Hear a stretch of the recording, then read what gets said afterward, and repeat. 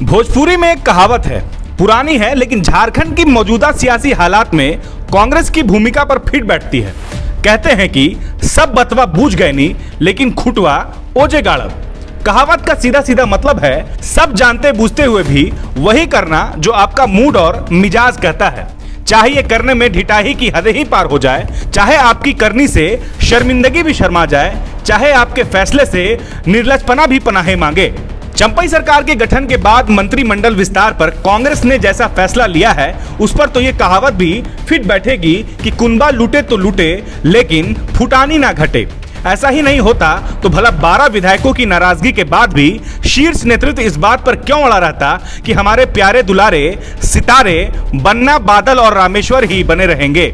मतलब पार्टी के 17 में से 12 विधायक कह रहे हैं कि हुजूर, इनको और मौका नहीं दीजिए। फैसले पर थोड़ा पुनर्विचार कीजिए, लेकिन नहीं।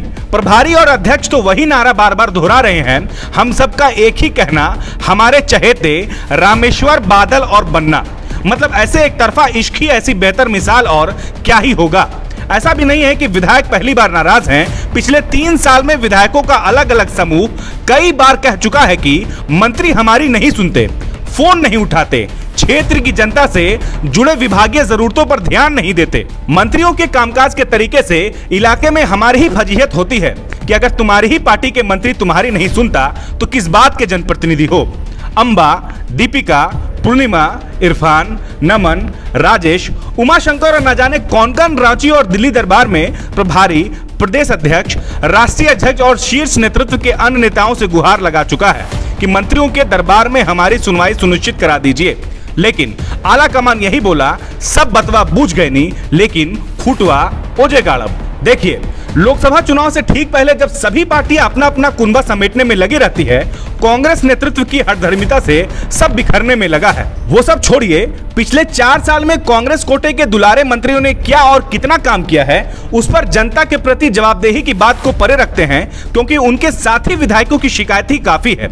आलम ऐसा है कि मंत्रियों की कार्यशैली से तंग आ चुके विधायकों को प्रभारी के नाम मांग पत्र सौंपना पड़ा है। लिखा है कि, हुजूर, पिछले चार साल में हमारा एक भी फ़ोन कॉल आपके दुलारे मंत्रियों ने नहीं उठाया। मिले तो सीधे मुँह बात नहीं की, कुछ मांगा तो दुत्कार दिया। इसीलिए, हे प्रभु, हम ये मांग पत्र सौंप दे रहे हैं। आप ही महानुभवों तक हमारी बात पहुँचा दीजिए, क्योंकि उनके दरबार में हमारी एंट्री नहीं है। आपको पता है, शपथ ग्रहण समारोह में हिस्सा लेने से इन 12 विधायकों ने जाने से भी इनकार कर दिया था। मीडिया में तो नहीं कहेंगे, लेकिन सच्चाई यही है कि प्रभारी के हाथ गोड़ जोड़ने पर राज़ी हुए हैं। दरअसल एन मौके पर विधायक शपथ ग्रहण में नहीं जाने पर अड़ गए तो प्रभारी और अध्यक्ष को कहना पड़ा, हे मानस के राजहंस, हमारी इज़्ज़त बचा लो, लाज रख लो। वैसे ही देश भर में भट्टा पिटी है और बेजती ना कराओ। कभी कभी ऐसा नहीं लगता कि कांग्रेस का हाल उस कबीले जैसा हो गया है, जो और तेज रोशनी के फेर में अपना ही आशियाना फूक डालता है। पैर में कुल्हाड़ी मारना को यदि एक शब्द में कहना हो तो कांग्रेस भी कह सकते हैं। नहीं मतलब ऐसी भी क्या मजबूरी है? जिन मंत्रियों की कार्यशैली से जनता तो छोड़िए, साथ ही विधायक तक संतुष्ट नहीं है, उनमें ऐसे कौन से सुरखाब के पर लगे हैं कि विकल्प ही नहीं ढूंढा जा सकता? मतलब ऐसा क्या महान काम किया है मंत्रियों ने? उनके साथी विधायक और बाकी जानकारों को तो नहीं लगता। आप ही बता दीजिए कि आपको क्या लगता है।